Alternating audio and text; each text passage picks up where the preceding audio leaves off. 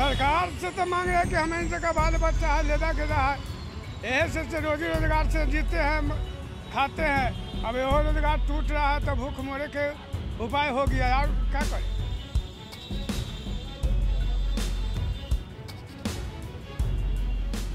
नमस्कार आप news foundation देख रहे हैं। मैं हूँ आपके साथ वंदना।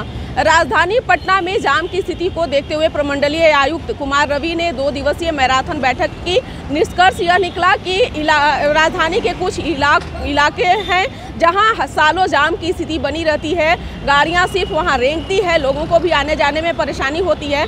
ऐसे में जिला प्रशासन द्वारा पहले ही जो है हिदायत दे, दे दिया गया था। हालाँकि लोग बाज नहीं आए तब आज से पटना में अतिक्रम अतिक्रमण हटाओ अभियान जो है वो शुरू किया गया है। इस वक्त हमें पटना के ऐसे इलाके में जहाँ सालों यहाँ जाम की स्थिति बनी रहती है, वो इलाका है पटना जंक्शन, जहाँ आप कैमरे के माध्यम से आपको जितनी दूर दिखाई दे रहा होगा, वहाँ आप, वहाँ तक आप देख सकते हैं कि किस तरह से गाड़ियाँ जो है वो सड़कों पर रेंग रही है। यानी कि उसे आगे बढ़ने में काफ़ी कठिनाई हो रहा है। स्थिति यह है कि जो आसपास के जो जगह हैं यानी कि सड़कों के, के किनारे जो फुटपाथ दुकान लगाते हैं गाड़ियाँ जो लगा करके लोग इधर उधर चलते हैं उन लोगों को हटाने की हिदायत दी गई है। देखिए किस प्रकार से जो है पुलिस प्रशासन की टीम भी लगी हुई है और साथ ही साथ लोग जो दुकानदार हैं वो भागते हुए ओवर ब्रिज के ऊपर जो है अपने दुकानों को लगा लिया क्योंकि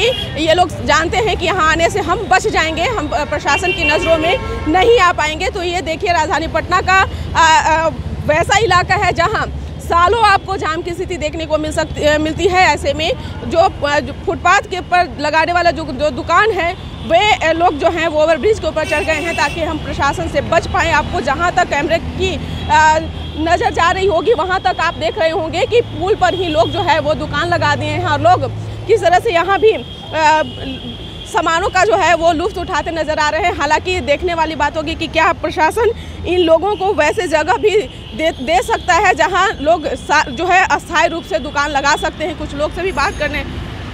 क्या खा रहे भाई साहब? लिट्टी चोखा खा रहे हैं। भागते भागते पुल पर ही आ गए भूख लग गया क्या करें? सुबह से कुछ खाया नहीं। नाश्ता भी नहीं मिला। तो आप लोग पुल पर देखते देखते आ गए यहाँ। क्या करें? हम लोग दुकानदार हैं। आप लोग दुकानदार हैं तो हाँ। क्या कहना चाहेंगे? आज से तो आप लोगों को दुकान लगाने की अनुमति नहीं नहीं दी जाएगी। नहीं लगेगा तो कुछ तो उपाय करना ही होगा ना। ऊबर ओवरब्रिज तक क्यों भागे आप लोग? तो कहाँ भाग के जाएँगे? नीचे रहेंगे तो फाइन लगेगा। सरकार आप लोगों को जगह नहीं देती है। नहीं।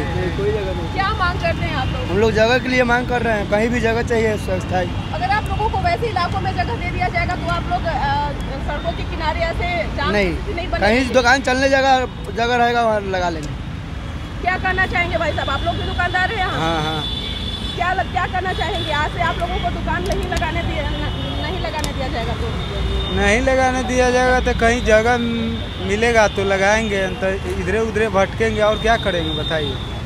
हम लोगों को गरीब को यहाँ से भगाया जा रहा। है पुल के नीचे लगाते थे अब वहाँ से हटा देगा। तो कहीं भी जगह मिलेगा तो लगाएँगे ना तो ऐसे ही कहीं भटकेंगे। प्रशासन द्वारा पहले ही अनाउंसमेंट कर दिया गया था कि आप लोग दुकान दुकान है वो हटा लीजिए हाँ बोला गया सरकार से तो मांग रहे हैं कि हमें इन जगह बाल बच्चा है लेदा गेदा है। यही से, रोजी रोज़गार से जीते हैं खाते हैं। अब वो रोज़गार टूट रहा है तो भूख मोरे के उपाय हो गया यार क्या करें? आप लोगों को वहाँ से भगा दिया गया? तो भाग मिल गया तब तो भाग के यहाँ पुल छड़पल है।